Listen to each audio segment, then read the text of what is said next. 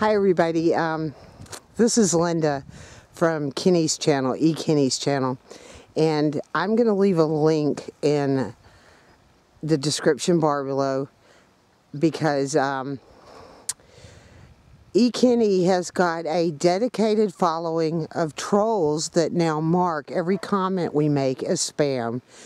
He has pissed YouTube off and um, there's been a a little war going on over one upload he's put up. And um, I guess because he wouldn't take it down they are not allowing any of his comments to go up or mine. I use his uh, YouTube channel also. So I'm going to leave a link and if you guys would just go over there and sub to that we'll be using my channel from for right now until we can work this out with YouTube or we probably won't work it out because fuck them, pardon my language. Um, I mean, their censorship is terrible.